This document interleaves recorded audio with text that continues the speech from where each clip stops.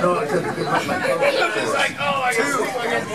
Damn it. I just worked all day. Okay, here's a song called The Stumble by Freddie King. We don't know it, we're just gonna stumble into it. But